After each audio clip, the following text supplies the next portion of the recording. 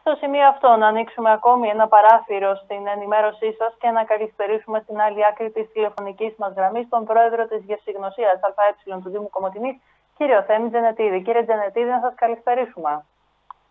Καλησπέρα σε εσάς και στους τηλεθεατές τι κάνετε; Ε, δεδομένων των συνθήκων, ε, προσπαθούμε όλοι να έχουμε την υγεία μας πάνω απ' όλα και φυσικά αναμένουμε να ξεκινήσει η Μεγάλη Εβδομάδα εν ώψη των εορτών. Φέτος θα γιορτάσουμε ένα Πάσχα διαφορετικό ε, για όλους μας και σε θρησκευτικό επίπεδο αλλά και σε οικονομικό όπως θα συζητήσουμε αμέσως τώρα για τους επαγγελματίες της πόλης μας οι οποίοι ε, θα, έχουν, θα έχει άμεσο αντίκτυπο η υγειονομική αυτή κρίση που περνάμε στην μετέπειτα πορεία τους. Κύριε Τζενετίδη, πώς αναμένετε να κινηθεί η κίνηση ε, να κοιμαθεί η κίνηση το φετινό Πάσχα δεδομένων των απαγορεύσεων και των αυστηρών μέτρων που έχει λάβει η κυβέρνηση. Ναι, όπως είπατε, αυτό το Πάσχα θα είναι διαφορετικό από κάθε άλλο Πάσχα. Ε, όπως λέμε τώρα, όπως ε, να έχουμε και για τον κορονοϊό, αυτόν τον ιό ο οποίος ήρθε και στη χώρα μας, το Πάσχα θα πούμε και εμείς μένουμε σπίτι και τρώμε πιστοποιημένο ελληνικό αρνί και κατσίκι. Ε, αυτό βέβαια προβλέπεται από τους, ε, από τους Έλληνες ε, που μένουμε εδώ στην Ελλάδα για το σημερινό Πάσχα ότι αφού θα μείνουμε στο σπίτι θα καταναλώσουμε και τα προϊόντα τα ελληνικά, τα προϊόντα του αρνί και το κατσίκι. Αυτό σημαίνει ότι βέβαια δεν θα πάμε σε εξοχές, θα μένουμε στα σπίτια μας ε, και θα, ο κόσμος όλος θα κάνει το Πάσχα ε, λιτά όπως ακριβώς θα πρέπει το, είναι στις, ε, το επιτάσσουν οι καταστάσεις των καιρών λόγω του κορονοϊού.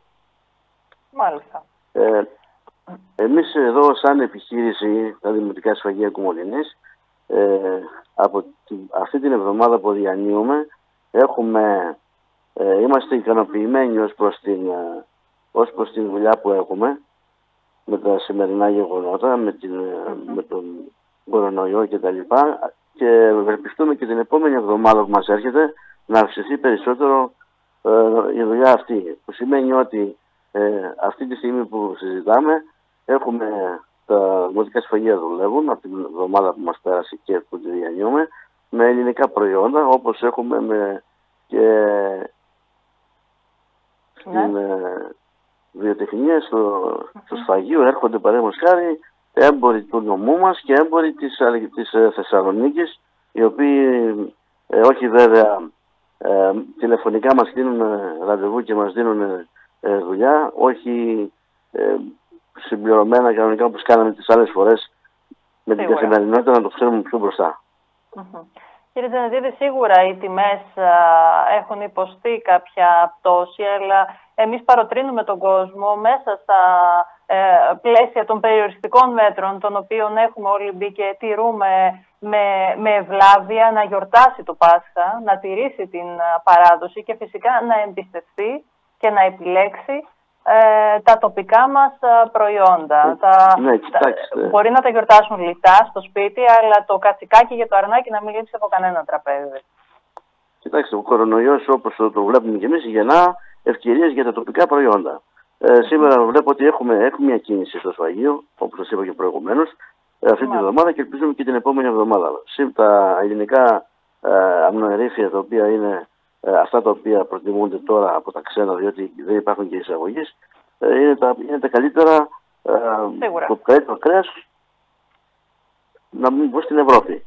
Ε, οι τιμές βέβαια είναι κανονικές είναι οι τιμές. Εγώ από ό,τι αντιλαμβάνομαι εδώ από τους εμπόρους ζώων βάρους είναι από 2 μέχρι 2,30 από ό,τι φαίνεται προς το παρόν και κρέας 4 με 4,20 το κιλό.